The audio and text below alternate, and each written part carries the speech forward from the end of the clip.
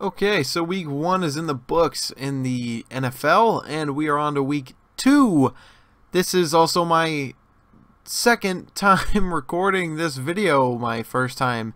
Some very smart individual forgot to select this microphone as his audio input device.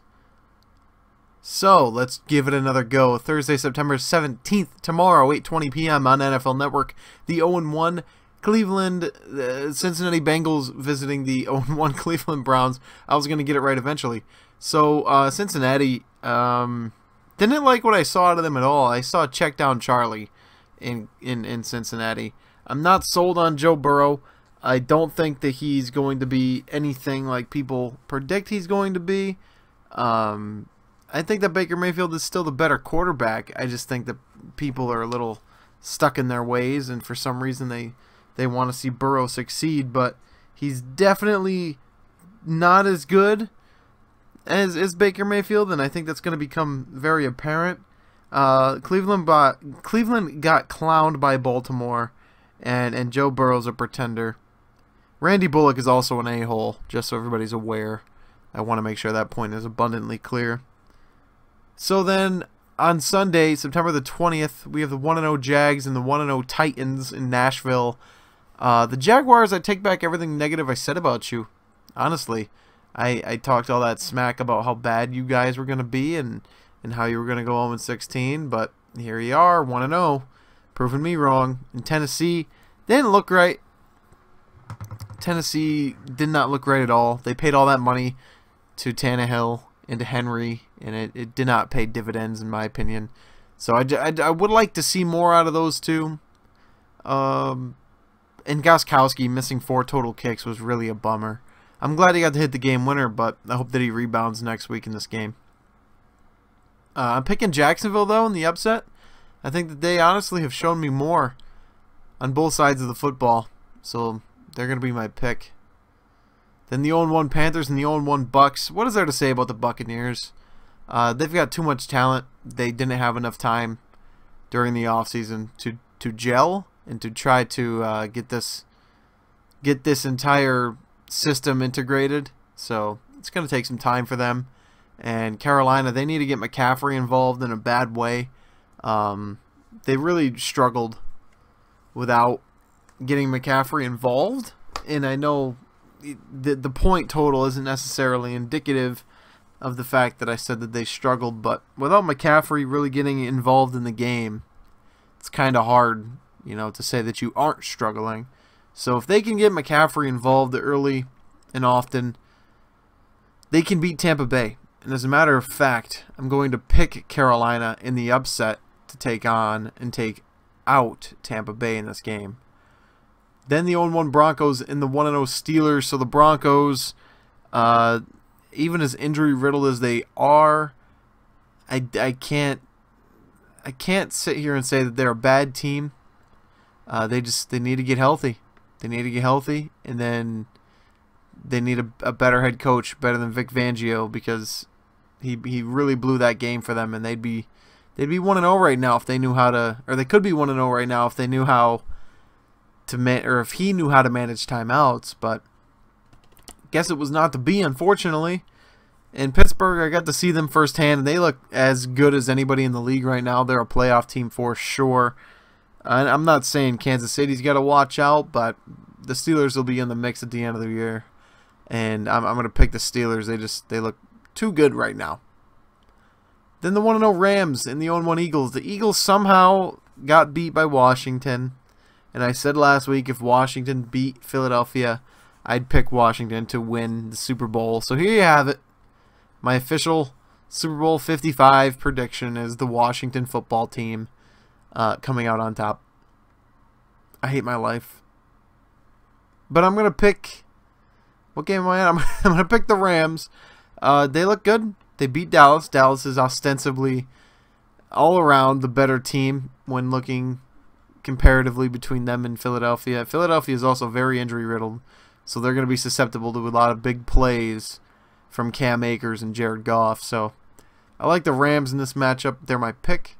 Then the 0-1 49ers and the 0-1 Jets. I need to stop hearing Jets fans talk about Sam Darnold being better than Josh Allen because they're out of their mind and they need to seek professional help. Uh, I'm picking the 49ers in this game. They are without a doubt the better team. If only Kyle Shanahan could learn how to stop blowing leads, then maybe they'd be even better. Uh, I, I think that the hangover's real. They're not going back to the NFC Championship game, but they'll win this game. I'm picking San Francisco. Then the Buffalo Bills and the Miami Dolphins. Buffalo's 1 0, Miami's 0 1. Miami played well for a team that lost and had piss poor quarterback play. But uh, I, I like Buffalo in this game. If Josh Allen can reel in that accuracy just a little bit more, then we've got a legitimate contender for an AFC title right there. Uh, I like Buffalo in this game. Then the 0-1 Vikings will visit the 0-1 Colts. Neither of these teams impressed me. Matter of fact, both of them severely disappointed me. Hi, the train. I don't know if you guys can hear that, but the train has made his long-awaited return in one of my videos. He hasn't been featured in in many a year, so welcome back, Mr. Train. Uh, but I'm going to pick Minnesota in this game. The Colts just, how do you lose to that team? How do you get beat by the Jacksonville Jaguars? I just, I don't believe it. I don't believe it. I've got uh, Minnesota in this game. It's going to be a, a, tight one, but I'm picking the Vikings. Then the 0-1 Lions and the 1-0 Packers. The Lions blew a lead to Mitchell Trubisky and lost. The Packers did not. I'm picking Green Bay. The 0-1 Falcons and the 0-1 Cowboys. The Falcons are probably the best 0-1 team right now. IMHO, as the kids would say. And Dallas looks perfectly Dallas. They'll probably go 7 and 9, 8 and 8, somewhere around there. Uh, but Dallas is dealing with injury problems now, and Atlanta looked really good, all things considered, even though they had to run into the brick shit house that is the Seattle Seahawks. So I'm picking Atlanta in this game. Then the New York Giants and the Chicago Bears. Giants are 0-1, Bears are 1-0. I wish badly that that was the opposite. But um, if, if we can't beat Mitchell Trubisky after how well we played against a team that's going to the playoffs in, in Pittsburgh, in my opinion, I think they're going. Uh, and the Giants played them fantastically. I mean, genuinely, they played them very, very well for a team of our caliber going against a team of that caliber. So I'm very excited to see what the Giants can do. But if we lose to Mitchell Trubisky, I might jump off a bridge. Um, and not onto water, probably onto some very, very hard concrete. So I, I have to pick the New York Giants in the game, unless I want to die. Then the 1-0 Washington football team takes on the 1-0 Arizona Cardinals. Cardinals, they're better. They're better than Washington. Washington eked out a win against, well, they had a, a big comeback, but you get what I mean, against a very hobbled Philadelphia Eagle team, of which I, I know I talked uh, Carson Wentz up a lot last week, but just watching them play, it's it's very painfully obvious that even through the injury problems, they're not going to be a good team. So I have to pick Arizona in this game just based on what they did last week, and Kyler's going to get better week by week. So they're my pick. Then the 1-0 Kansas City Chiefs against the 1-0 Chargers. The Chargers barely won against Cincinnati, and the Chiefs are the Chiefs, so they're my pick. Uh, the 1-0 Ravens against the 0-1 Texans. Texans got punked by said Chiefs. Ravens beat up on the Browns. Um, Ravens are the closest thing to Kansas City in the AFC that there is, so I'm taking the Ravens. Unfortunately, I'm sorry, Deshaun. I'm buying your book. Don't worry. Uh, I, I, still love you. Then on Sunday Night Football, the 1-0 Patriots taking on the 1-0 Seahawks. Uh, this game is so interesting to me. Both these teams look very good. The Patriots look like contenders for the AFC East, if or at the least, and then the the Seahawks look like probably the favorites to come out of the NFC uh, and go to the Super Bowl at this juncture. And I know it's only week two, so that's a lofty expectation, but I'm going to pick Seattle in this game.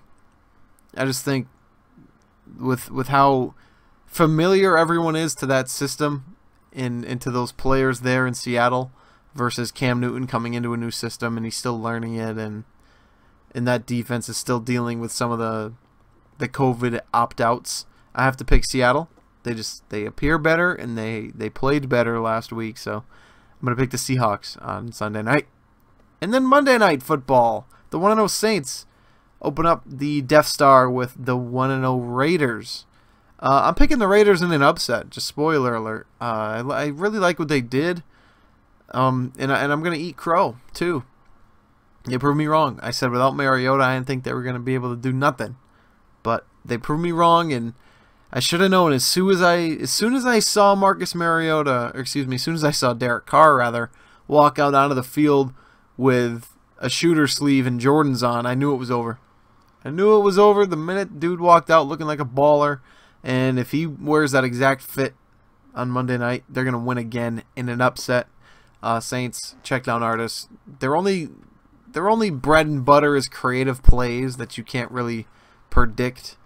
So I, I like the Raiders and, possibly a shootout, but they're my pick. So there you have it, the abbreviated, the Spark Notes version of Week 2 from your boy. Uh, I didn't really have time to film this video because like I said, I already filmed it once, so this is now entering my second hour straight of talking about the same games in a row.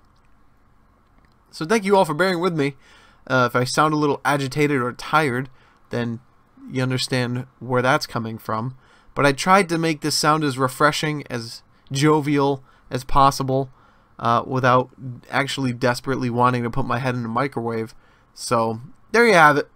Everybody enjoy some football this week. Stay safe, stay healthy, uh, keep your family inside, wear your mask, hand sanitize, wash your hands, all that good stuff. Uh, keep the, the the health and safety of your neighbors in question every time, and, and at the forefront of your mind every time you go out outside your front door. Uh, that's what we're doing right now. We're all we're all working together to beat this thing, and we will. So thank you all for watching. I appreciate it so much. It means the world to me, and I will catch each and every one of you in week three.